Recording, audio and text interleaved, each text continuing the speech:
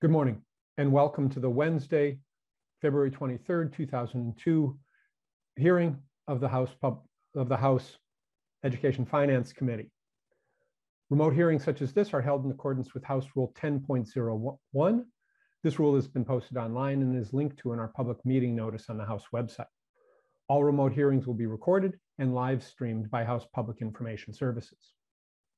Members have the contents of their virtual packets available to them and for the public, these same materials have been posted online. Members, if you're looking for all these items in one place, they are attached to the calendar event that Ms. Burt sent you for today. To get on the list to be recognized by the chair, members using the Zoom interface have the ability to raise their hand via the app. Ms. Burt will place your name on the list to be recognized. Mr. Lee, would you please take uh, the roll? Thank you, Chair Davnie. Roll call will commence now. Uh, Chair Davnie. Present. Representative Sandstede will be joining us soon. Representative Kresha. Present. Representative Bennett. Present. Representative Daniels is, is excused. Representative Demuth. Demuth present. Representative Drazkowski. Present. Representative Erickson. Uh, Erickson present. Representative Feist. Present. Representative Jordan. Jordan present. Representative Marquart is excused. Representative Mueller. Mueller present. Representative Richardson. Present. Representative Thompson. Thompson present. Representative Wolgamott. Wolgamott present. Representative Shum. Present. Representative Youakim. Present. At the moment, we have 14 members present, and that establishes a quorum. Thank you, Mr. Lee. Uh, Representative Zhang, have you had the opportunity to review the minutes from Tuesday, February 22nd? And if so, would you like to move approval of those minutes? Yes, I would like to move approval of the minutes. Thank you very much. Any discussion to the Zhang motion, members? Seeing none, members, this is a voice vote. If you would please unmute. All those in favor of approving the Tuesday, February 22nd minutes, please signify by saying aye. Aye. Aye. Opposed, same sign. Motion prevails. Thank you, Representative Zhang. Thank you, members. Thank you. Members, as you know, this week we're looking at uh, both the social emotional needs and the academic needs of students. We'll begin today with a presentation relating to student achievement at the beginning of this current academic year, the 2021-22 school year. We're lucky, due to this virtual format, to be joined by a researcher from the Pacific Northwest, Dr. Karen Lewis, from the Center for School and Student Progress at NWEA. Dr. Lewis, welcome to the committee. Please state your name for the record and then proceed with your testimony. It's a privilege to have you here today. Uh, thank you so much for the warm welcome, and it's a pleasure to be with you all. My name is Karen Lewis. I'm a senior research scientist at NWEA. I'm going to share my screen so I can show you some slides. How to do that.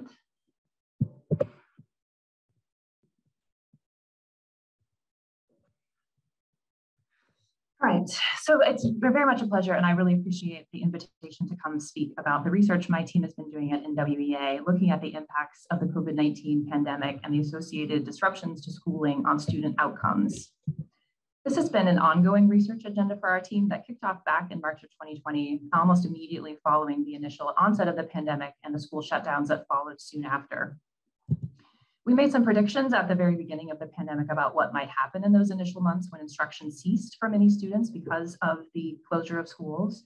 We predicted based on what we know about disrupted learning in other more normal circumstances, such as over the summer months or in prolonged absences. We made some predictions about what we expected might happen. And we projected that we would see declines in both math and reading achievement over those initial weeks.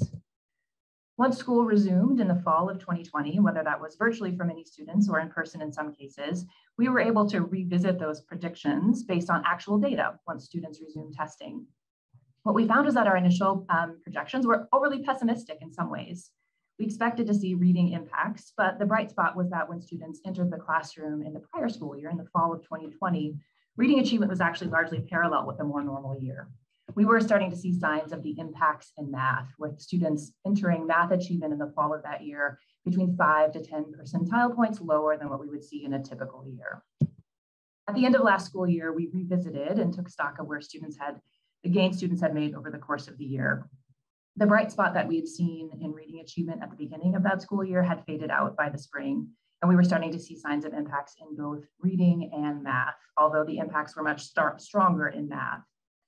Notably, we also saw that the impacts of the pandemic on achievement were uneven, just as the impacts of the pandemic itself had been uneven. We saw the, the disproportionate impacts for students of color and students in high poverty schools.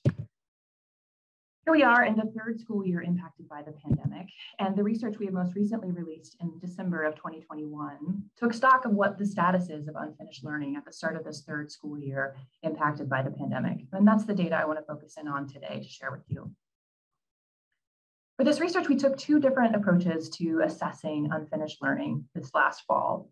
The first was what we call a cross-sectional approach. And here we're comparing how students are achieving in the fall of 2021 relative to peers back in the most recent fall testing season prior to the pandemic. So we're comparing back to the fall of 2019.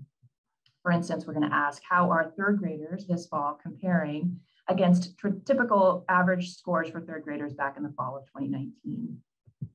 The other way we look at unfinished learning is by tracking students longitudinally over the pandemic period. So here we're following students from the fall of 2019 to the fall of 2021. So for instance, third graders back in the fall of 2019, what kind of gains have they made in their academic skills entering the fall of fifth grade in 2021? Before I get into the actual data, I wanna say just a little bit of framing about our assessment to help you make sense of the results that I'll share today. NWEA MAP growth is an interim assessment. It's administered to roughly 25% of students in public schools across the country. It is an interim assessment, and that means it's assessed typically at multiple points throughout the year. So fall, winter, and spring is a typical scenario. This allows teachers to take stock of where students are, assess their growth and progress over time, with the goal of providing data back that really is meant to take a temperature of where students are and provide information for teachers to help them um, tailor their instruction to what the students in their classroom or actually the needs are of those students. It's important to also point out our, our test is computer adaptive, which means it's grade level independent. So we can assess and capture kids' skills if they're well above or well below grade level. In this research that I'm going to share today, we have a sample of over 6 million students, and we look at grades 3 through 8 specifically. And this is a national sample with over 14,000 public schools from across the country. Now, one other piece of framing information I want to share is about our norms. So at, with our assessment, we have available both achievement and growth norms. What these norms do is help us to really contextualize and make sense of test scores. They're often quite arbitrary. If I told you a student scored a 220 on our assessment, that would mean very little to you without knowing our assessment as intimately as I do. We take our norms and use them to be able to situate a test score and situate performance relative to academic peers. So what that allows us to do is take a test score, an arbitrary number on our scale, and convert it into a percentile rank. And just a wee little refresher on what percentiles are, I won't give you the full statistics lecture, don't worry. But you can interpret a percentile to tell us, for instance, if a student is scoring at the 65th percentile, we know that they scored as well as or higher than 65% of their peers. And importantly, these norms are based on pre-pandemic achievement. So this, these are national, nationally representative averages for a pre-pandemic sample of students. Our first research question, remember, was how does student achievement in fall of 2021 compare to pre-pandemic levels? And to make these comparisons, we're going to use those percentile rankings. I'm going to start by showing you what's happening in reading, and then we'll contrast that in a moment with what's happening in math. I want to set this the table a bit for how to interpret the figures I'm about to show you, because these capture, these arrow plots capture uh, quite a bit of information. So let's hone in first on one specific grade, looking at third graders. What these plots tell us is first at the base of the arrow, that circle is telling us the typical performance of third graders back in the fall of 2019. So that's our pre-pandemic comparison group. And in this case, in this sample for these specific schools, those third graders were at about the 55th percentile. The tip of the arrow is placed at where third graders were this past fall of 2021. So in this case, we're seeing the achievement of third graders in this sample was at about the 48th percentile. And And then the number at the bottom of the arrow is capturing the difference between those two groups, which I refer to as a relative decline. So this captures the difference in achievement now versus where it was pre-pandemic. If we zoom out now to take in all of the grades in our study, you'll notice that we see evidence of relative declines in all of the grades that we've studied, ranging from three to seven percentile points. And obviously those differences are slightly larger amongst the youngest students in our sample. Now on your screen, I've also placed the results for math. Here too, we see evidence of relative declines comparing back to pre-pandemic achievement levels. But notice that the magnitude of the declines in math is larger than what we see in reading, ranging from between nine to 11 percentile points. And this difference in magnitude between math and reading is consistent with the research that we've put out in our previous briefs. So the high level summary of these figures is that reading and math achievement showed declines in the fall of 2021 relative to pre-pandemic averages. And it's important to note that those declines were larger in math. Before we move on to the other analyses I talked about where we'll look at growth over the pandemic period, I want to spend a little bit of time asking whether these relative declines differ for key student groups. So we took these kinds of arrow plots, but used them and disaggregated by a couple of important demographic dimensions. The first I want to talk about is school poverty level. So we're going to compare what's happening for students in high versus low poverty schools. And to be able to categorize schools, we use a well-known proxy for poverty, which is student eligibility for free and reduced price lunch. We have this information at the school level. So we categorize high poverty schools as schools where 75% or more of students are eligible for free reduced price lunch. And on the other end of the spectrum, low poverty schools are those where 25% or fewer students are eligible. So returning to those arrow plots, first I'm showing you what's happening in reading, but now we're looking at just the results for students in low poverty schools. A couple of things to notice here. First, those arrows are pretty squat, partly because the scale has changed on these figures, but also because the relative declines for students in low poverty schools is smaller than those overall averages I've already shown you. Note also that this was a high achieving group of students to begin with, sitting well above the 50th percentile, which would be the national average pre-pandemic sitting at about the 70th percentile. So even with this pattern of some modest declines for students in low poverty schools, this is still a very high achieving group of students. Let's compare that now with what's happening for students in high poverty schools. Notice that the size of the arrows, the magnitude of the relative declines is larger for students in high poverty schools. In some cases, double or even more what's happening for students in low poverty schools. But also notice that the, where those circles are, the circles capturing pre-pandemic achievement patterns, there were already wide disparities between students in high and low poverty schools prior to the pandemic. So what's even more concerning about the disparity in the magnitude of the impacts is that it's taken those inequities that already existed prior to the pandemic and it has widened them over the course of the last two years. I'll show you the same breakdown by low versus high poverty schools, but now we're looking at math outcomes. Similar to the overall trends, the impacts in math are larger than what we see in reading, but also similar to the pattern we see in reading for math, we see that the impacts are larger for students in high poverty schools, exacerbating those pre-existing inequities. I also want to draw your attention here to a pattern we've seen in several of our research briefs so far, in that the concentration of the impacts for students in high poverty schools is really there in our lowest grades. The elementary students seem to be the hardest hit. Our data don't allow us to really unpack the mechanisms, but I don't think it's a stretch to speculate that these are students, youngest students had the hardest time navigating Zoom school. That was the most challenging for students of that age group. And it might also be the case that for students in high poverty schools, their home situations made it so their caregivers were not able to provide the same amount of support for students in low poverty schools, whether that be because of other caregiving duties, whether that be because of careers and professions that didn't allow them to pivot to working from home to be able to provide that support. We can't see why, but this is a persistent pattern we see in our data, and it's very concerning. Next, I want to break down these arrow plots, but now comparing for race and ethnicity groups. And in our data, we have the adequate sample size to compare results for Asian American, white, Black, Hispanic, and Native students. And that's what I'm going to show you next. Starting here in reading, first showing you outcomes for Asian American and white students going to hear a similar story to what I've just walked through for comparing low versus high poverty schools. We do see evidence of impacts for Asian American and white students, However, the magnitude of those impacts is smaller relative to the overall averages. And this was a pretty high achieving group of students to begin with, sitting well above the 50th percentile. Now I'm dropping in what's happening for students of color, specifically Hispanic, Native, and Black students. Our Native categorization captures American Indian and Alaska Native students.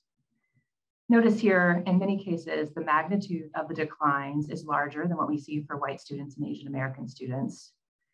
Notice again, we also had that pattern of disparities for students' achievement levels prior to the pandemic. And this disparity in terms of the magnitude of the impacts means we are again seeing a widening of those gaps. Now on your screen, you're seeing the results for math. Same story, just larger impacts. Overall, math has been harder hit than reading, and overall, students of color have been harder hit than white and Asian American students. I'm putting those two graphs side by side now and capturing the magnitude of the relative declines in some heat maps. So this is just taking the size of the, the number at the bottom of those arrows and color coding it according to size to help us pick out patterns a little bit more clearly. What you'll notice here is that the heat map for math, much more red than what's happening in reading, same story I've told you before. And I wanna hone in again and notice this pattern where the disparate impacts seem to be really concentrated for the youngest students in our sample. So the high level summary of these graphs is that reading and math declines were larger for Hispanic, Native, and Black students, and especially so in the elementary grades. I want to share one last result before I sum up, and this looks at that pattern of growth over the pandemic period. What kind of gains were students making in their test scores between fall of 2019 and fall of 2021? Here we're going to make uh, take advantage again of our norms. We have norms not only for achievement, but also for growth. And growth norms, what those do is help us situate test score gains relative to national averages for growth that we would expect based on pre-pandemic trends. And similar to the results I've just discussed, I'm going to transform those test score gains into growth percentiles. And they're interpreted in much the same way. So I'm going to show you a bar chart here that looks at growth across the pandemic, first in reading, then in math. The key point of reference when we look at the bars that I'm going to put on this graph is how they compare to the 50th percentile. Because the 50th percentile would indicate that the observed growth that we've seen over the pandemic was consistent with what we would have expected pre-pandemic. First for reading, these are the conditional growth percentiles across the grades we were able to follow. And recall this is longitudinal, so we're tracking students, from instance, from third grade to fifth grade, and then converting their growth into a percentile. Notice here, for each of the grades that we've studied, we see that gains across the pandemic are lagging, lagging compared to national averages for pre-pandemic growth, but not wildly dramatically so. Our third graders, for instance, they're sitting at about the 47th percentile, which is only three percentile points lower than national averages we'd expect based on pre-pandemic trends.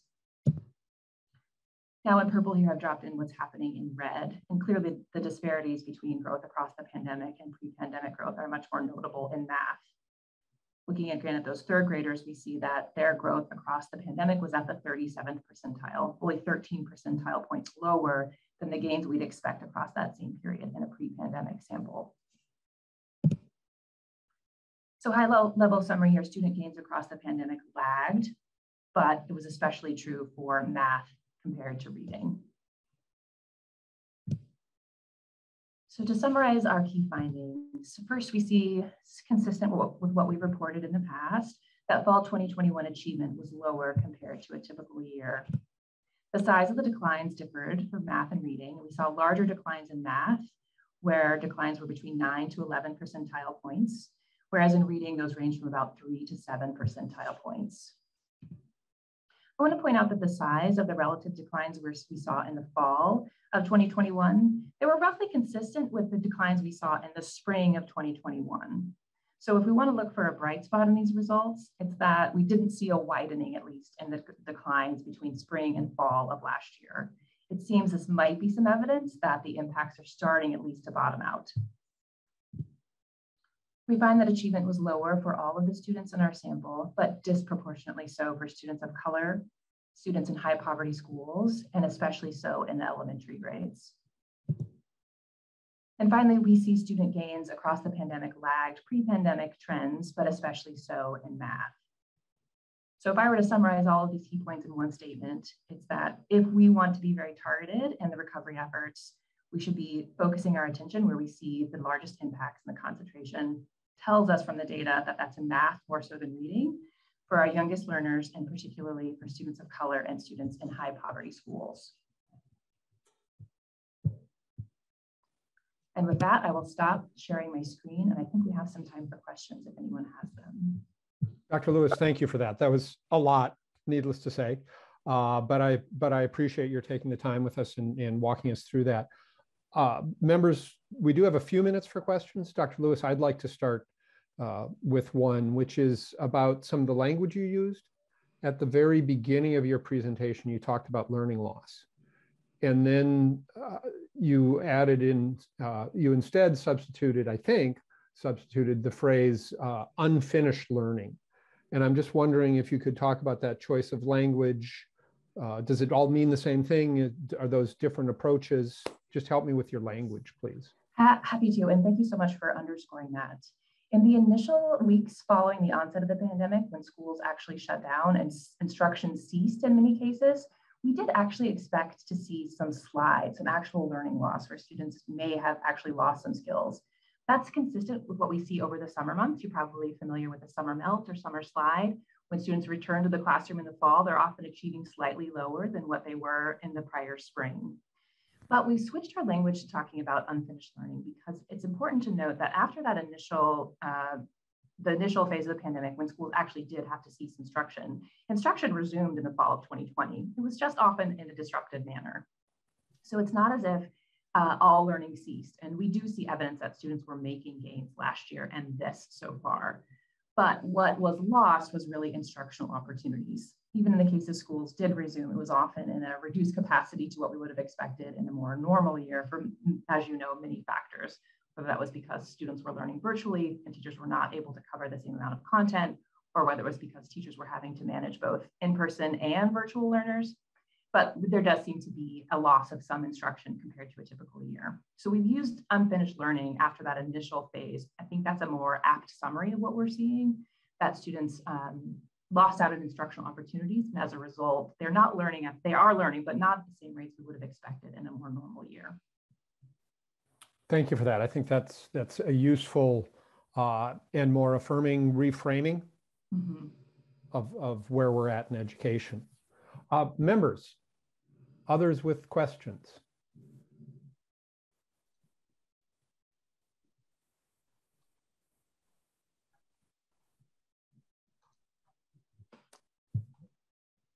It would appear, Dr. Lewis, that they're saving them for the bills that are coming up. Uh, which is which is appropriate as well. Uh, Dr. Lewis, uh, thank you for getting up early on the West Coast and joining us. we appreciate the opportunity to to have you come in through the internet and not have to travel. I appreciate that as well. I would imagine. So thank you very much. We appreciate your time today and your insights. Take care. Members, uh, we'll now begin uh, presentations of bills. Our first bill up is House File 3088 from Representative Acomb. It's our intention to lay this bill over for further consideration and possible inclusion by 1110. Representative Wolgamott, would you like to make a motion to move House File 3088 to be before the committee to lay it over for possible inclusion in a future omnibus bill?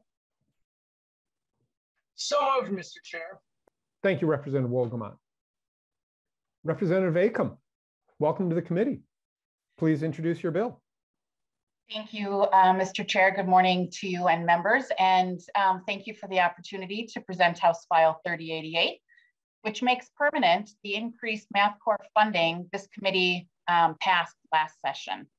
It increases the base from 500,000 to 1 million starting in fiscal year 2024. As you know, Math Corps is an AmeriCorps program, and as a former AmeriCorps member myself, I know firsthand the strengths of programs like Math Corps that bring together qualified trained workers dedicated to community service to address critical needs in our community. As we just heard from Dr. Lewis, the need for math supports is unfortunately growing. As you will hear today, Math Corps has the research, evidence, and results to help meet the needs across the state. As we all know from our own experience learning math, math concepts build on previously learned concepts. If a student is struggling with early numeracy or math facts, it makes it much more difficult for them to learn higher level skills in later grades. Math Corps has responded to requests from schools and now offers math supports in grades K through three and layers in early numeracy concepts into the pre-K Reading Corps program. The reality is it will take several years for our state to get all students back on track. Ensuring AmeriCorps' current funding level continues into the future will allow them to meet more of our students' needs. I have two testifiers joining me this morning. First, we'll hear from Dr. Peter Nelson, a senior researcher at Serve Minnesota, and then he will be followed by Sumi Lee, who is a Math Corps tutor. Thank you, Representative Acomb. Dr. Nelson, welcome to the committee. Please introduce yourself for the record and proceed with your testimony. Okay, well, my name is Peter Nelson, and I'm the Vice President of Impact and Innovation at Serve Minnesota, uh, which is our state's commission for AmeriCorps. So thank you, Mr. Chair and committee for giving us space um, to speak today. And thank you to Representative Acomb for authoring the bill. Um, you know, today I'm going to talk briefly about our approach to creating and improving AmeriCorps programming in the state, uh, and then specifically um, about the about the value of Math Corps, uh, which is a proven uh, tutoring solution that you can find in, in schools across the state. So as an organization, uh, we leverage the committed people and resources of AmeriCorps to address our state's critical issues. Uh, we're able to do this really well in Minnesota because from design to scale, our programs are rooted in evidence and reflect the needs of the communities that we serve. Uh, this allows us to know that our AmeriCorps members don't just do things out in the world, they do things that have a known value in the context of education um, that have a known value for kids and, and, and, for, and for schools. Uh, now, thanks in part to that vision for program development, which is sort of a blend of science and service and community, um, as well as the rich history of service in the state. You know, you can find a lot of commitment from Minnesotans when it comes to devoting a year of service. Our educational programs have reached um, over 50,000 kids in math and 500,000 students in reading. Now, many of our AmeriCorps tutors go on to pursue a career in education. You can go out and find them in the schools, and our research team at the commission um, which is a unique thing in and of itself to have, um, contributes to the national conversation about what works when it comes to supporting um, schools and, and kids. So beyond the scale of Math Corps, we, we have to talk about impact. Uh, it's a program that's explicitly designed to address opportunity gaps, which as we saw earlier, are particularly evident in the area of math.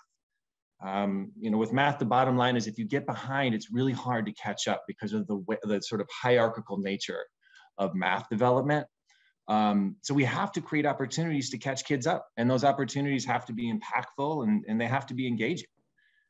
Math Corps layers onto core instruction for kids who need it. So it's not a replacement thing, right? So I, this is in addition to, and that's the kind of supports that we need to create for kids if, um, you know, if we're going to catch them up and we're going to address some of this um, uh, uh, you know, the issues that we've been facing, especially over the past couple years. So at the highest level, you know, Math Corps is a program that helps schools um, put kids in the driver's seat when it comes to picking their high school math courses. So getting them back on that trajectory to think about, um, you know, what courses do they want to take and what career do they want? Um, it, so it boosts their skills, but it also helps make math and careers that have their roots in math more accessible for kids.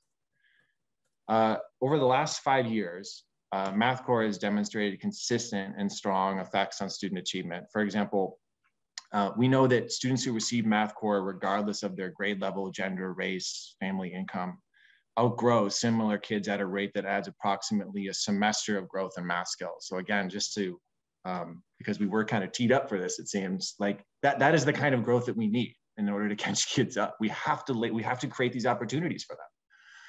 So the logic behind Math Corps isn't particularly flashy. I mean, it's about creating opportunities for kids to strengthen their relationship with math. But what makes us unique is our commitment to evidence and ongoing improvement. Each year, our, our team digs into the data to think about how we can improve. Um, we talk to school leaders, we talk to parents and kids, all in the interest of thinking about how we can get better.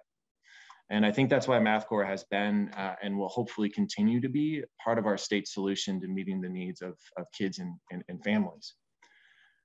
So the growing evidence base for Math Corps, um, as well as our organization's history of innovation, has allowed us to partner with private funders um, to engage in projects that have really helped us improve the quality and breadth of programming in math. So if we just think about math over the past few years, I mean, we received funding from the PNC Foundation to expand our programming into pre-K. And so our pre-K includes both literacy and math, which we are finding that actually uh, not only supports math, but actually um, helps kids literacy skills even more, uh, is to have that, that, that, sort of blend of literacy and math. We've also received funding from the Coggo Foundation to create a K3 Math Corps which is in direct response to feedback we've received from schools for a need for sort of programming in the K3 space, um, supplemental programming.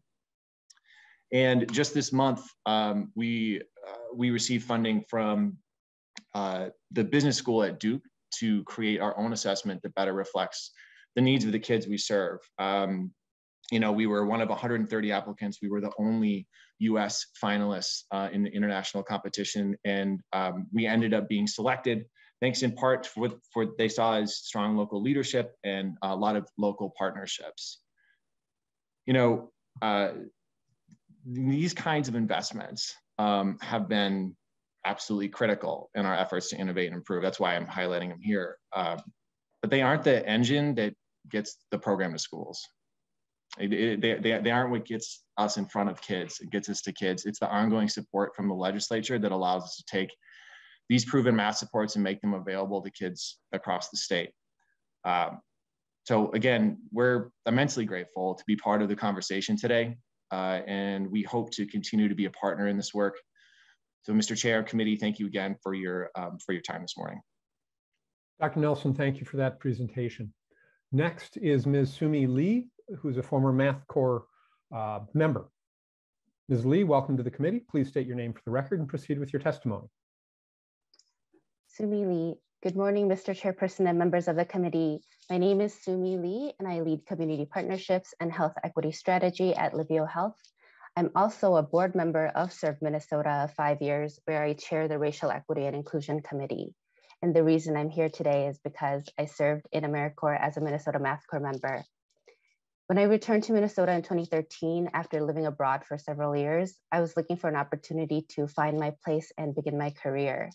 Being a Math Corps member not only provided me with a career trajectory of serving my community, but also provided me with a sense of belonging in my community. I served as a Math Corps member for two years at Central Park Elementary School in the Roseville School District where I grew up in. When I started my AmeriCorps service, I received rigorous training and all the tools I needed to tutor 24 fourth through sixth grade students each day. The tutoring ranged from providing diagnostic tests, tutoring each unit with engaging materials and repeated practices, and wrapping up each lesson with a unit test. Witnessing the confidence my students gained when certain math concepts clicked with them after repeated lessons and even some frustrating moments helped me see the impact my role was creating in these young lives. I'd like to share two stories that demonstrate the impact I witnessed as a Minnesota Math Corps member. One of the students I tutored got easily frustrated with math. He was familiar with most of the concepts, but when he got stuck, he would throw up his hands and want to quit the task altogether he struggled when his homeroom math hour came around that often showed up as behavioral issues. I'm not sure what the magic was. Maybe it was the extra encouragements and compliments.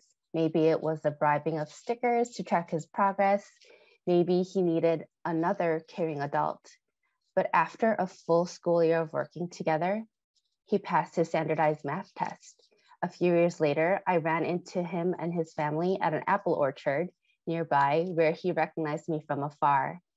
His parents told me that, believe it or not, math is his favorite subject in high school. I couldn't have been more proud that I've played a role in shaping his future. And here's my second story. My service site, Central Park Elementary School, was experiencing a swift demographic change with new Karen students joining our schools.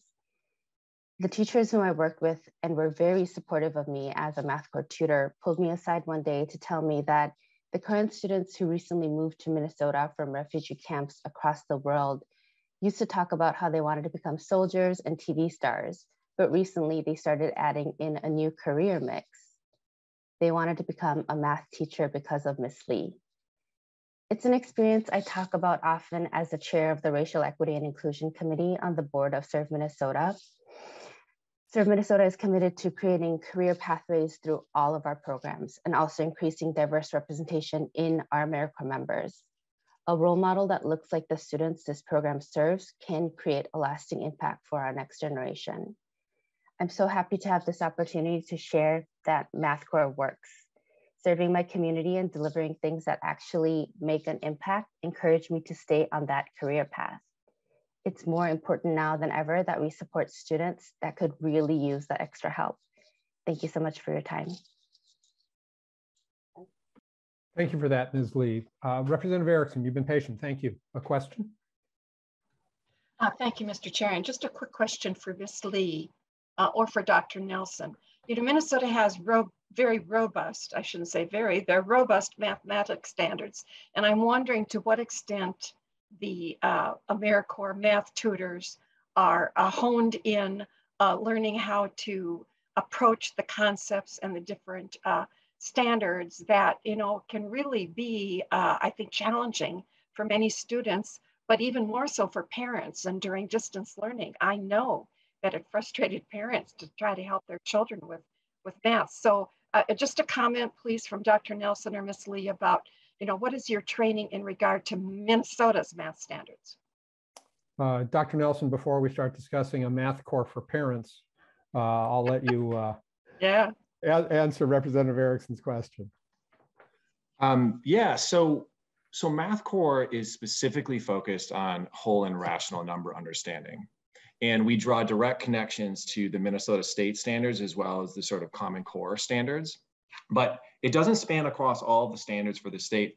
And that's specifically because we know that an understanding of whole and rational number understanding is the sort of like foundational skill set that you need in order to really benefit from the core instruction that's happening in the classroom. So Math Corps is in addition to core instruction. And because we're focused on whole and rational number understanding, um, that really is going to position kids to like make movement on the on the on the highest yield skills right? Where you can get these sort of long run benefits if you can really understand how fractions work right?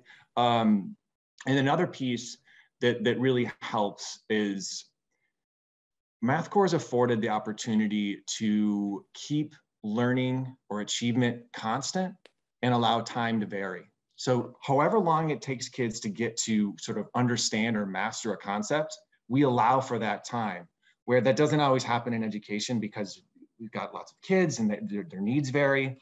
But the program's delivered in, in small groups of two or three students, which allows the tutors to sort of move at the pace that the kids need in that area of whole and rational number understanding, this concept of mastery, of, of mastery learning. Um, and uh, the, only, the only other thing I'll mention is that whole and rational number understanding were not also grade specific. So if you're a seventh grader and you're struggling, we're still focusing on skills that may that that that may have been introduced in the curriculum and in sixth grade to ensure that you're prepared, right? Prepared in the area of whole and rational number understanding to really benefit um, from your classroom instruction. So thank you for that question. Represent, Representative Erickson, follow up? Uh, well, thank you, Mr. Chair, and thank you, Dr. Nelson. I think that is uh, so important that time is an important factor in the tutoring and children are going to and they we found that out during distance learning. They're all over the place and you know for parents to try to help them was was really uh, a barrier uh, be, because they probably didn't understand that concept of it's going to take a lot of time here for some of our children to catch up. So thank you very much. Thank you representative.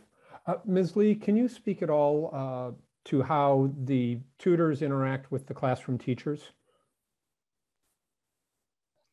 Mr. Chair, thank you for the question. Um, in my school in Roseville, there was a reading corps tutor and me as a math corps tutor. Licensed teachers in the school were our internal coaches and oversaw our work. So I worked very closely with my internal coach and with regular observations during tutoring sessions. Um, I was also part of every grade level team meeting for the fourth fifth and sixth grade teams before each school day begun.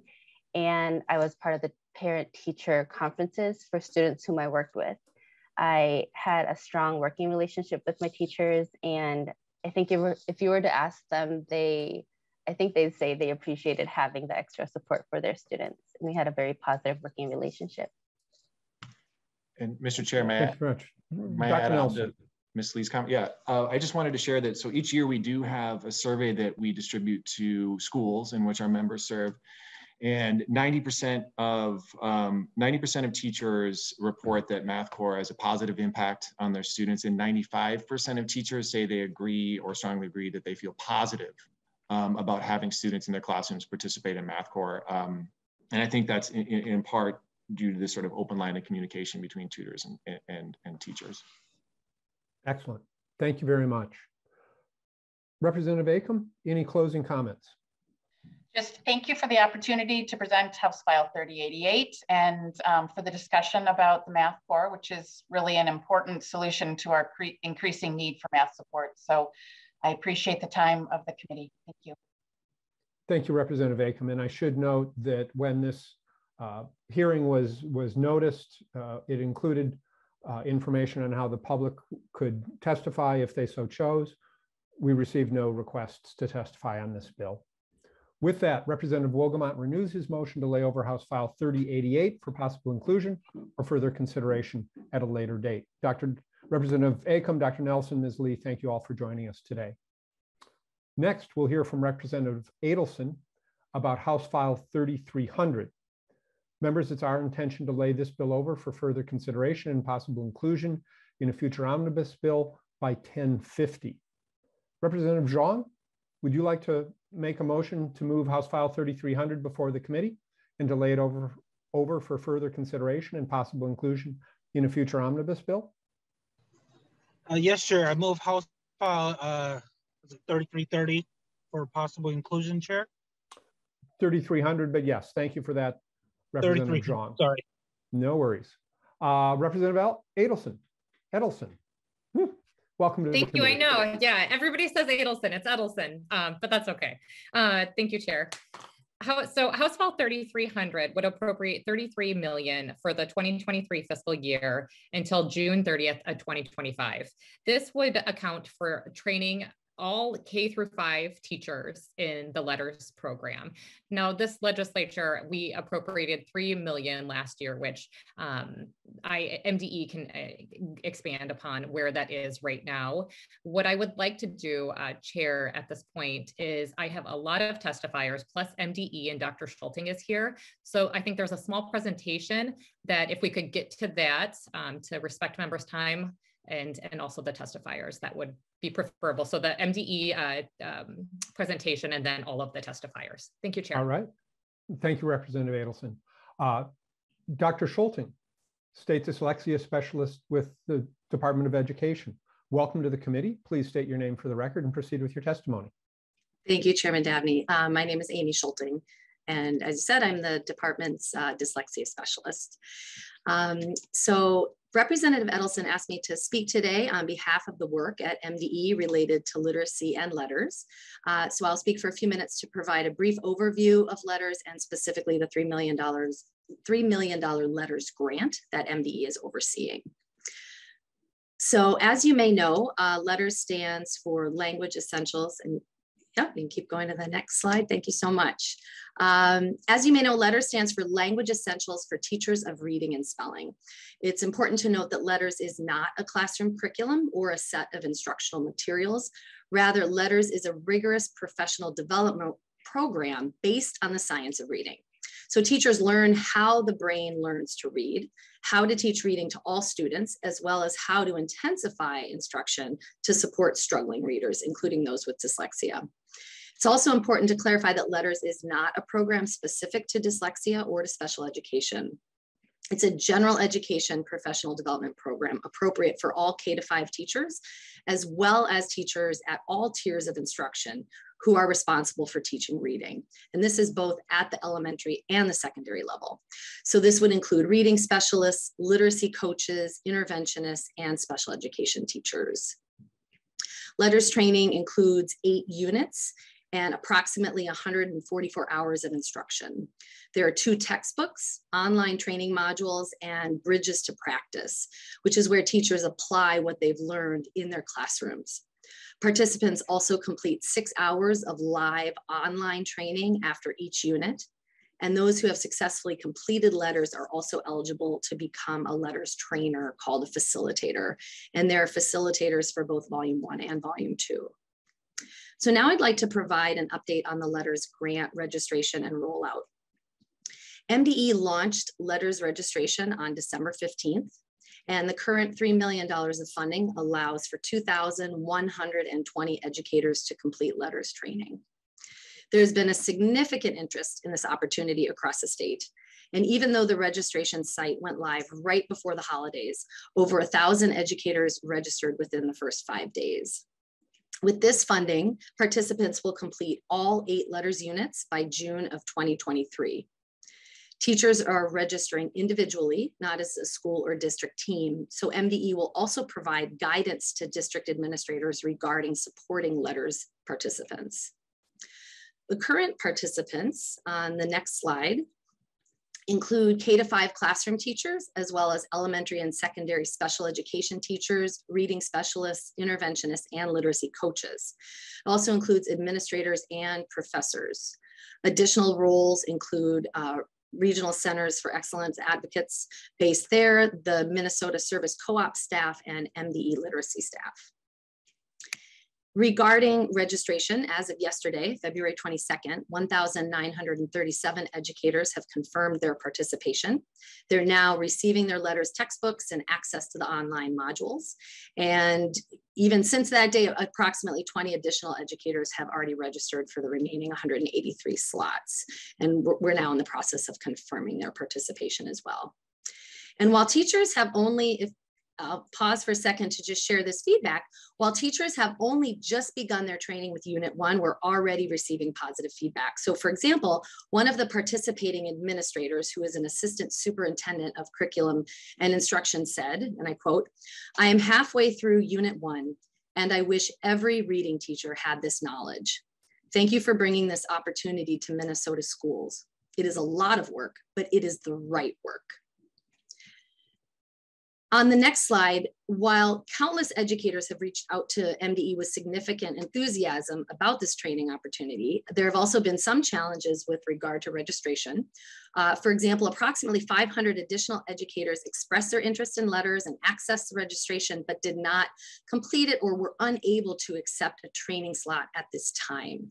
And the registration challenges that we've identified include the following. COVID-19 related professional demands on educator time, COVID-19 illness for educators or their families, LETRS also require significant investment of time, and the river is equivalent to graduate level coursework. So the current model requires teachers to complete LETRS training outside of school hours. Um, so this may have been a barrier for some participants. Um, also, due to significant interest in LETRS across the state, some schools and districts decided to provide LETRS training to their staff internally. So teachers opted to register for LETRS through their district rather than MDE. Now, on the next slide, with regard to next steps in supporting LETRS trained teachers, we know that teacher knowledge in the science of reading is essential to improving classroom instruction and student outcomes. We also know that teacher knowledge and training alone is not enough.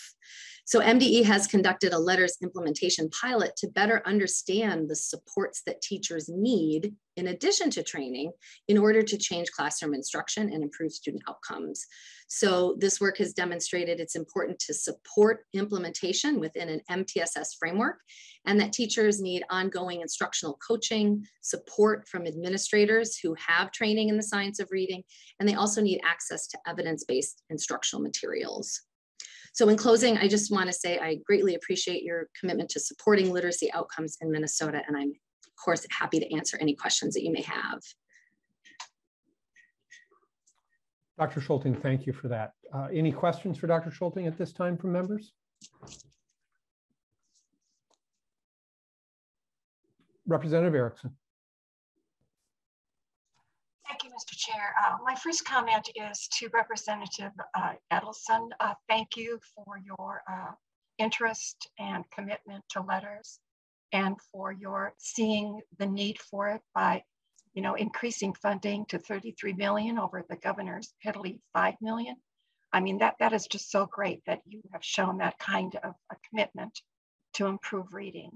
Um, for uh, Dr. Schulting, uh, looking at the pilot and noticing that professors at five universities are involved in the pilot, have they come to the admission that they haven't been teaching in their teacher preparation programs uh, the scientific uh, reading uh, uh, um, law that we have in place?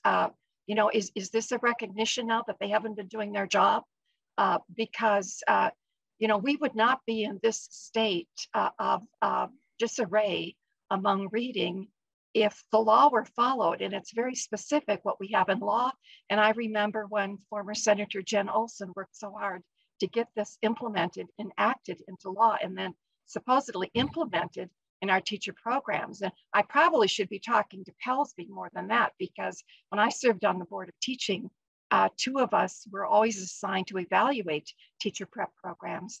And I always brought back as part of my evaluation what the students told me. Uh, now I served in the 90s, and so the comments were different then from, oh, I would imagine what they would be today. But I, I just can't imagine that PELSB hasn't been targeting uh, universities with teacher preparation programs that aren't following the law. So is this an admission, do you think? I mean, what are they saying to you about what has happened within their programs that has not prepared teachers to know how to teach reading in our classrooms so that we have to now spend an additional 33 million, which I'm grateful for. I don't know if it'll become fact, but I'm grateful that we're making this effort because teachers have to know how to teach reading. Um, Dr. Schulte. Thank you, Representative Erickson. Uh, well, I, I, of course, cannot speak for PELSB um, and would defer to the professors themselves to speak on behalf of their own learning. I know that we have had, as you said, a number of professors go through LETRS training. Um, and we have, while we're still finalizing the numbers in this current registration, uh, we will be able to provide numbers of uh, professors that have registered uh, for this next wave of funding, uh, as well as, um, of course, you know, their experiences. I would defer to them to, to share their experiences directly. I know that they've They've had positive feedback on their participation in LETRS. Um, that is definitely something that I have, I have heard. Chair Davnie, you're muted. Of course I am. Thank you, Dr. Schulting. Uh, members, we have a number of testifiers on this bill. Uh, remind uh, testifiers that we've allotted two minutes each uh, to you. I'd ask you to be respectful of the other testifiers uh, and stay within that limit. We'll start with uh, Dr. David Law, Superintendent of the Anoka Hennepin School District. Superintendent Law, welcome back to the committee. Please state your name for the record and proceed. David Law, Superintendent for the Anoka Hennepin School District. Chair Davnie, members of the committee, thanks for having us back again. I'll be brief. I'm, I brought two practitioners with me. I'll just, as a general reminder, of where we were going into the LETRS decision. This has been third grade literacy has been a board priority since I've been here, and this is my eighth year. We were a district one of 10 in the state that had increasing proficiency rates for our, our readers for seven straight years pre-pandemic. Even leading up to the pandemic, we had been fairly stagnant while state averages were dropping. So we were, we weren't in crisis mode and we still wanted to do better. Um, among our peers, our gaps in reading proficiency between measured groups are among the lowest, and yet we're still we still know we can do much better. Um, we are really doubling down on third grade literacy, and LETRS is a big part of that. And I'm going to turn it over to the next two presenters to tell you a little bit more, more on that to be respectful of other people's time. But I'll also stand for questions at the end. Sure, Thank you, Superintendent Law. Uh, next, Ann Sangster, Director of Curriculum for Elementary Education. Ms. Sangster, welcome to the committee. Please state your name for the record and proceed with your testimony. Good morning, Mr. Chair and members of the committee. I am Ann Sangster, Director of Elementary Curriculum in Anoka Hennepin. Thank you for the opportunity to share our experience with LETRS. In early 2021, we met as a district team and developed a comprehensive professional development plan to continue to support our teachers who teach reading. LETRS was one component of that plan, which was based on incoming third grade map reading data which has plateaued since the 2017 school year. This year, we have 560 participants in LETRS, K2 classroom teachers, half of our third grade teachers. Those teachers were chosen based on incoming third grade reading data, literacy intervention staff, building principals, district level leadership, including EL and SPED. Um, we acknowledge from, and also Dr. Schulting talked about this as a college level course. We knew that the biggest challenge would be the time commitment. So we started off um, giving our teachers a one paid day paid opportunity in August 2021 to get started on the coursework. As we began the coursework, we made adjustments after gathering input and feedback from teachers. Our original plan was to complete units one through four, but we will actually complete units one through three this year, four through six during the 22-23 school year, and complete the training in 23-24 for this first cohort. The additional time we felt was essential for true understanding and bridge to practice opportunities. We are also committed to giving our teachers time to complete during the duty, duty day and our district building staff development days. We recognize that teachers need additional time outside of the duty day, so we've compensated our teachers as they complete each unit. Moving forward, we will be onboarding the new K-22 teachers and have opened up the opportunity to third grade teams, EL teachers, and special education teachers. Even Ms. though Ms. those Sanger? teachers, I'm sorry. You- Ms. Sanger, we're at, we're at time. If you could just finish up briefly. Okay, I'm sorry. Mhm. Um, they're aware of the tremendous workload. They um, still are interested in taking LETRS. So I'm going to have you hear from um, a teacher on the front line who is supporting our teachers through this important professional learning. Thank you. Thank you, Ms. Sangster. I have next on my list Deborah Day, a teaching and learning specialist for elementary education. Ms. Day, welcome to the committee. Please state your name for the record and proceed with your testimony. Yes, good morning, Mr. Chair and members of the committee. My name is Deb Day, and I'm a teaching and learning specialist for English language arts in Anoka Hennepin. So um, over the past years, we have provided professional development um, and we have brought some of the best research on researchers on literacy in to um, provide that professional development for our staff, but there was little bridge to practice. After our implementation of our core reading uh, curriculum, which was Wonders, we saw an increase in our K2 data. Um, that data had sat stagnant. Um, after our, our implementation, we saw an increase um, and then we hit another plateau. So we needed something to uh, find a bridge to practice. And so as we did our research, LETRS uh, was a different type of professional development. Not only do you get the science behind instruction, you bridge that science to practice. So LETRS gives teachers the opportunity to watch practitioners, implement routines and practices that engage students. And to acknowledge that LETRS requires that 144 hours, which is 18 full days of staff development over the next three years. Um, we, we are supporting and we're being responsive to our, our teachers. Um, and that is the biggest challenge is the time. But our teacher feedback that we have received, you know, they have said it is hard work, but it's the right work. The teachers acknowledge that they're moving away from the three queuing system to a code-based instructional approach based on their learning from LETRS. There common, um, there's common routines amongst our classroom teachers and support staff working with students. It puts the why behind the phonics lessons that are outlined in the Wonders curriculum. They understand why they're teaching and what they're teaching. LETRS has shifted the conversations during collaboration. Teachers are trying different things, they're sharing what they're trying, and they're learning from each other. Um, Wonders um, has a, um, asked you to follow three case study students, um, but that's shifted to all students. So Ms. we've Ms. seen. Day, if you could complete your testimony, please. Perfect. Um, we're early in our implementation or in our in our professional development, but our winter data suggests an upswing in our phonemic awareness data, which we hope uh, signals a shift in practice. Excellent. Ms. Day, thank you for that. Next, Jess Jessica Town Gunderson, Director of Teacher and Teaching and Learning from the Princeton Public Schools. Welcome to the committee. Please state your name for the record and proceed with your testimony. Thank you for having me. I'm Jessica Town Gunderson, Director of Teaching and Learning at Princeton Public Schools. Um, and my testimony just revolves around our experience so far this year. So we have about 30 individuals. That includes a fourth of our uh, kindergarten through fifth grade teaching staff, as well as interventionists, uh, building principal, myself as director of teaching and learning, and um, our literacy coach and some other teacher supports. We are in the learning together, and what we are experiencing is system shift. So, what is happening inside classrooms is a change in how we use classroom time. There is a change in what we do during interventions. There is a change in what we prioritize for programming both after school and in summer. And there is a complete shift in what we understand works for reading instruction.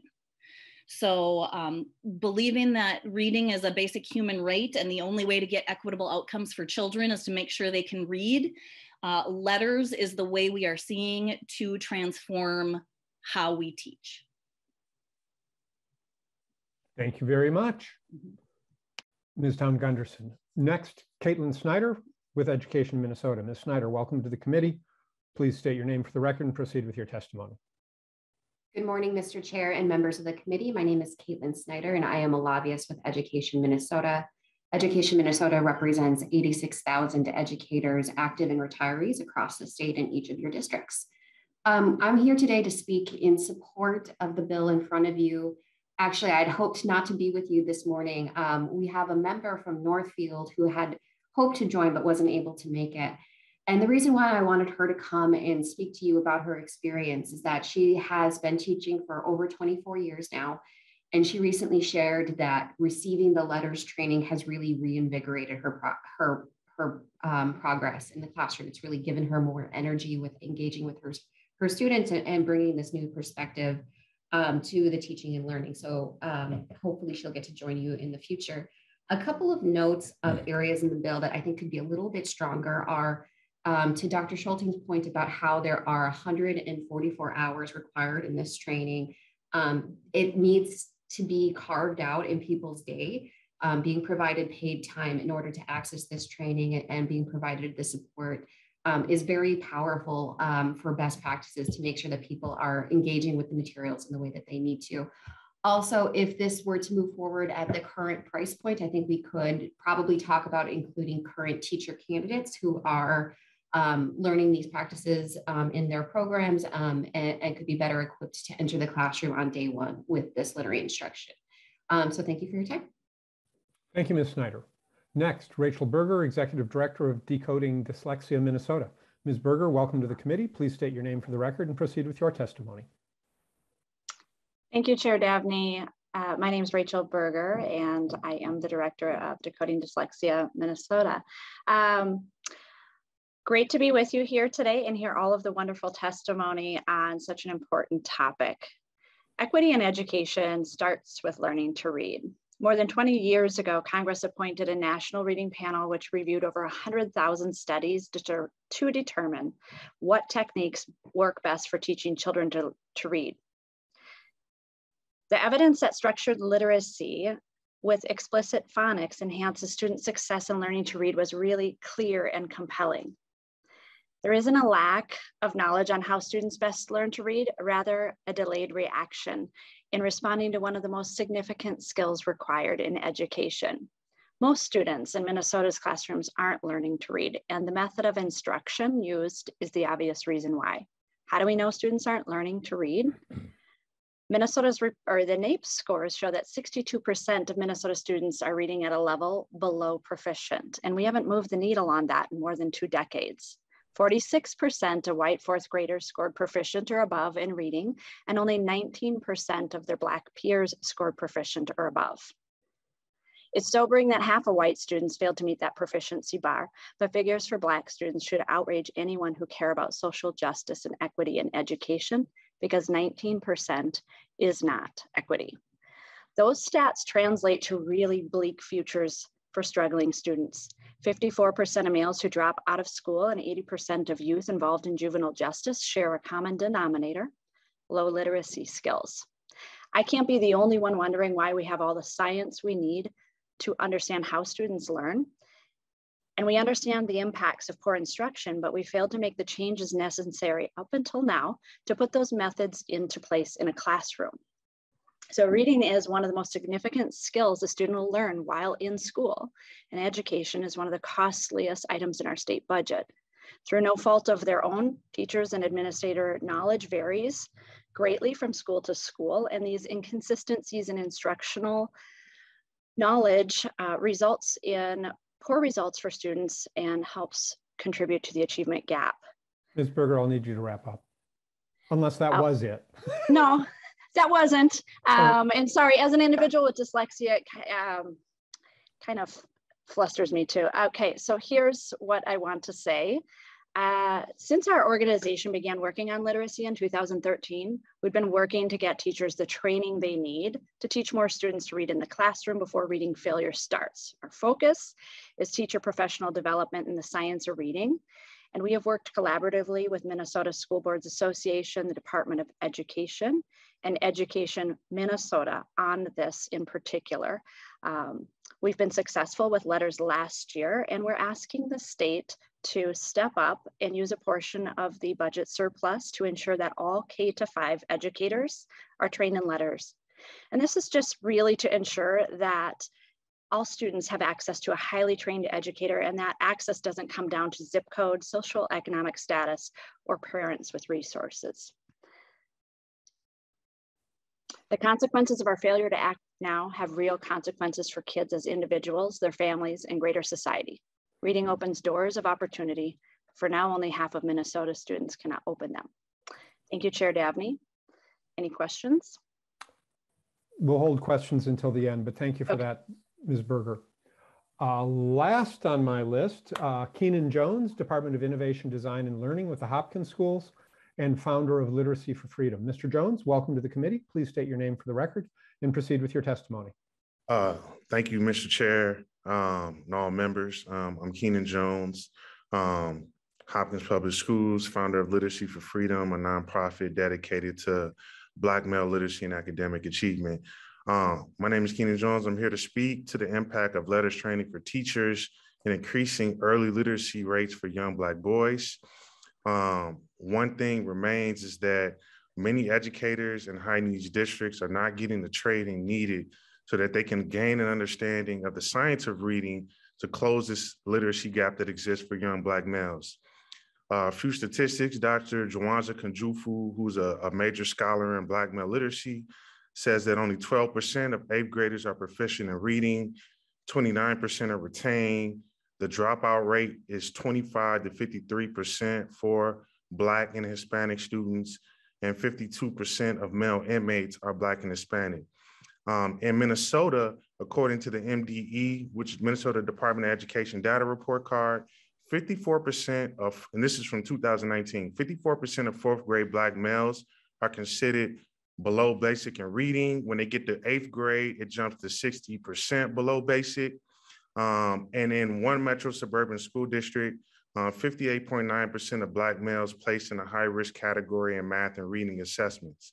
A quote is poor test scores are not the worst consequence of illiteracy for these young men, but recent research shows that a lack of adequate reading and writing skills can set the stage for a continuance of intergenerational poverty, crime, and substance abuse. Uh, we know that uh, low literacy rates are early on as a predictor of literacy rates down the road, and giving teachers the time and training needed to learn the science of reading and LETRS could be impactful in preparing our youngest students with the foundations needed for future success in school and life. In 2013, the Mississippi legislature passed the Literacy Based Promotion Act, which was funding set aside to educate teachers on the science of reading. Six years later, the heavily Black Southern state posted the highest gains in reading proficiency in the, in the nation. It's so important that students of color understand text well early on so that they can have the foundation to understand more complex text later. Investing in literacy is an investment in equality, an investment in justice, and an investment in our leaders of tomorrow who so de desperately need us to step up for them. Thank you. Thank you, Mr. Jones. Questions from members? Oh, no, I'm sorry. I, I jumped ahead. My apologies. Uh, when the hearing was posted, the public was provided with instructions on how to sign up to testify. Two individuals have uh, signed up to testify. Uh, first, Khulia Pringle, the Minnesota Parents Union. Ms. Pringle, welcome back to the committee. Please state your name for the record and proceed with your testimony. Thank you, Chair Davnie. My name is Khulia, and I just want to make a correction for the record. I'm with the National Parents Union, not the Minnesota Parent Union. It is, it is another organization. Oh, Um, uh, thank you for that correction. No Oh, no. problem.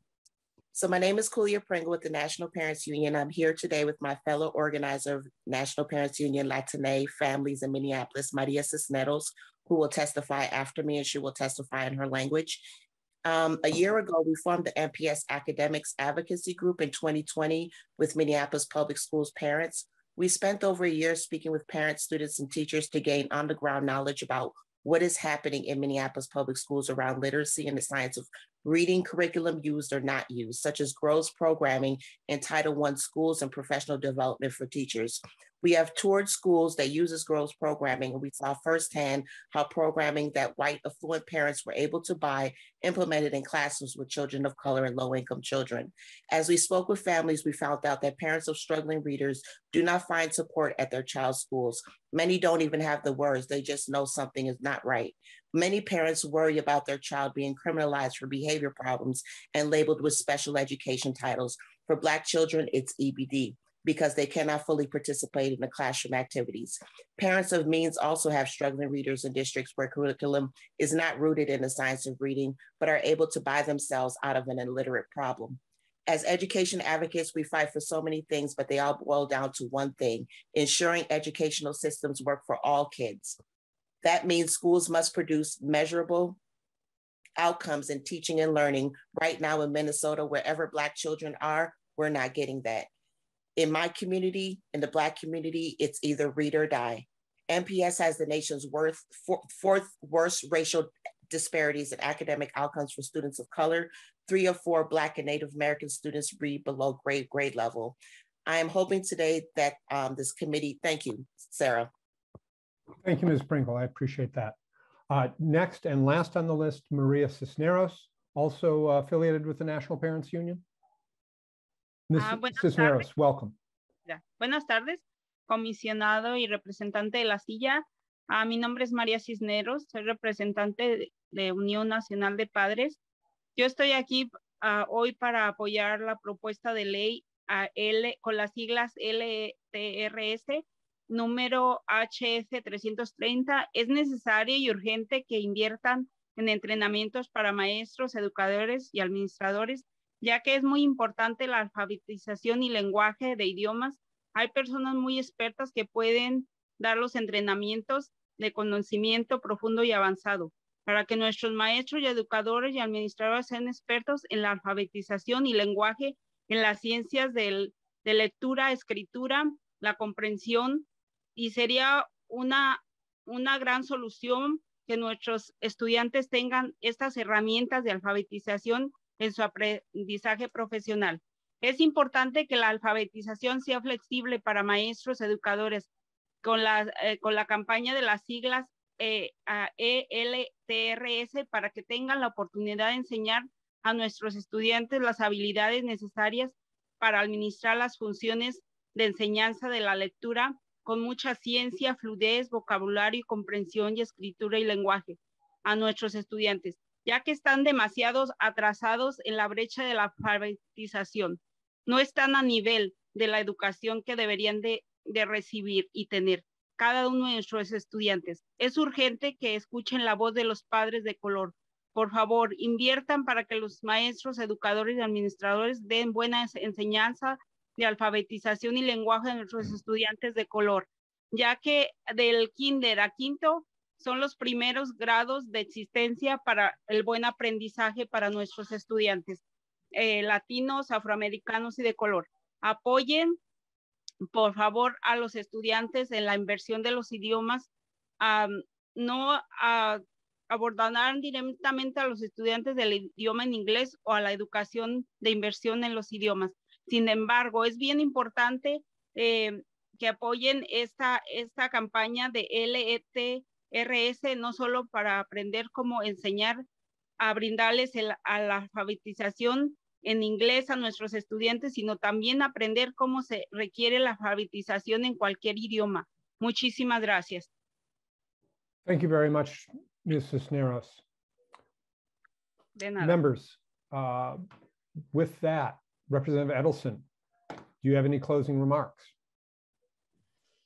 Uh, no, uh, well, I, I, I do, uh, but if, if members want to, is there any time for questions? Or are we out of time? Uh, we're we're at time. We have one more. We are at time. Well, I, I would just like to thank my testifiers. Um, as we've heard today, I think Mrs. Pringle really highlighted that the point is that right now we've private we've privatized literacy in the state of Minnesota. We need to make sure that our educators are getting the best training possible. This is a big investment for a big problem that we have in our state. If we, uh, I will be working on the bill to make sure that we are uh, targeting as well, making sure that this this funding is going to teachers of color and going to the areas where we see the NAEP scores have the highest needs. I would also just say that one of the other testifiers said that reading reading is a basic human right, and I would absolutely agree with that. I think that is a bipartisan issue.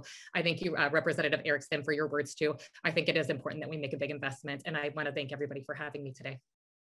Thank you, Representative Edelson. With that, Representative Zhang renews his motion to lay over House File 3300 for possible inclusion or further consideration at a later time. Our final bill presentation will be hearing from Rep- Representative Wolgamott about a bill to fund training for science and math teachers. Uh, Our intent is to try to lay this one over by 11:55 a.m. Let's see how we do. Uh, Representative Wolgamott, would you like to make a motion to move House File 3344 to be before the committee and lay it over for further consideration and possible inclusion in a future omnibus bill? Mr. Chair, that is my motion. So moved. Very good. Thank you. And I understand Representative Wolgamott, before we proceed further, that you have an author's amendment that you'd like uh, to offer to get the bill in the shape you'd prefer. Uh, Would you like to move the A1 amendment to be before the committee? So moved, Mr. Chair. Can you speak briefly to the amendment? Yes, I can. The uh, amendment is simply adding two appropriations, um, $2.6 million to line 1.6 and $2 million to line uh, 1.15. And once we get the bill in the shape uh, that I would like it to be in, I can further explain uh, the reasons behind those numbers, Mr. Chair. Thank you, Representative Wolgamott. Any discussion to the Wolgamott motion? Seeing none, again, members, this is a voice vote. If you would please unmute. All those in favor of the Wolgamott motion uh, for the A1 amendment, please signify by saying aye. Aye. Opposed, same sign. Motion prevails. Representative Wolgamott, to your bill as amended. Well, thank you, Mr. Chair, and thank you, members of the committee. I am here today to present House File 3344, uh, which pertains to uh, funding training opportunities for math and science teachers. The reasoning behind this bill, Mr. Chair and members, is because in 2019, the Minnesota Department of Education revised its standards for science teachers. And currently at this time, it is revising these standards for math teachers. Um, we expect the science uh, standards, the science revision standards to be implemented in 2023. And it is likely that these revised math standards will be implemented around 2024, 2025. Uh, but to be able to best implement these standards, of course, our teachers need training and need opportunities to be able to teach to the standards that they're required to teach to. So that's why I'm bringing this bill forward. Um, it appropriates uh, $2.6 million in grants to the uh, uh, grants to be executed through MDE to the Minnesota Science Teachers Association for professional development to implement those standards, and then $2 million um, to the Minnesota Council of Teachers of Mathematics for professional development to implement these standards. Um, this is uh, will affect about 6,000 teachers. The reason for the discrepancy and why we need an additional uh, $611,000 is because of um, standards license requirement changes for our earth science standards. So there'll just be a little bit extra for those science teachers. Um, again, MDE will oversee the grants. This will not fully fund the professional development that will need to take place. But again, uh, since this is statewide standards, uh, we need a statewide approach to making sure that our school districts have the resources that they need to give the teachers the professional development that they need to be able to teach to these revised standards. So that is the gist of the bill, Mr. Chair and members, and I do have some uh, testifiers. Thank you, Representative Wolgamott. First on my list is Dana Smith, a science teacher from the Bemidji Public Schools. Ms. Smith, welcome to the committee. Please state your name for the record and proceed with your testimony. Hi, my name is Dana Smith, and I teach at Bemidji Middle School. Please proceed. Members of the House Committee on Education Finance, thank you very much for hearing my testimony today. I am currently a sixth grade teacher at Bemidji Middle School, and I have taught middle and high school science in greater Minnesota for the last 23 years. I come to you today as an MNSTA, Minnesota Science Teachers Association, member serving as the state's Earth Science representative and coordinator of a program called ESTEP, Earth Science Teacher Education Project. We are asking you to fund up to 1,150 Minnesota sixth grade and high school earth science teachers over three years as they learn the content, skills, and strategies needed to teach earth science effectively. Minnesota teachers, especially in greater Minnesota, are in need of targeted high quality professional development in the area of earth and space science. We have three sixth grade E-STEP workshops already tentatively scheduled around the state for this summer, as well as two high school workshops. Over three summers, we want to offer workshops in or near Bemidji, Moorhead, Mankato, Alexandria, the Iron Range, Duluth area, Brainerd, Redwood Falls area, Rochester, Winona area, Worthington, Albert Lea, Austin area, and multiple locations in the metro. I can testify as an outstate teacher that access to high quality professional development and additional licensure preparation for teachers in greater Minnesota is few and far between and not something districts can afford.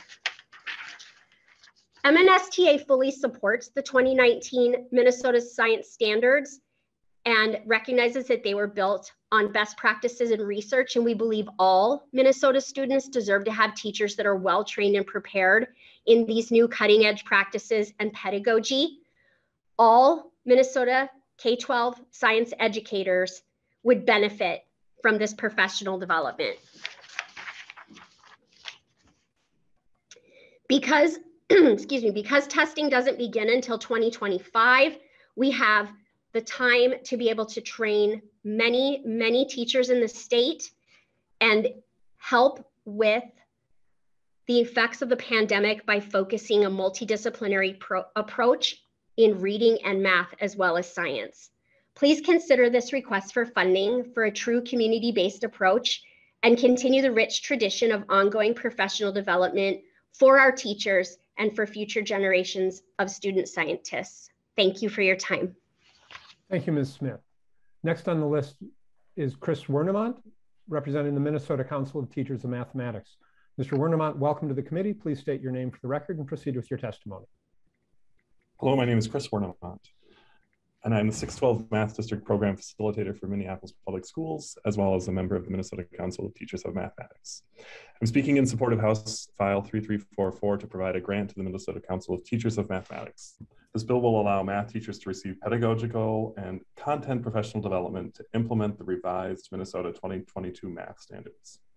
This statewide support for math teacher development is important as it has been 15 years since the math standards were last updated. And supporting teachers through a change in math standards was important in 2007 and is important today. Opportunities for teachers to learn deeply about the revised standards will have a direct impact on their students' achievement of the new standards. Through the Minnesota Council of Teachers of Mathematics, we have a great opportunity to use the statewide organization that has representation from all regions of Minnesota to help math teachers across the state learn about the revised standards. While the standards are still in draft form, the first draft includes more emphasis on data science, computational thinking, and computer science. Additionally, there are specific references to understanding relevant problems as well as real world examples found in historical and contemporary Dakota and Anishinaabe communities and in other communities.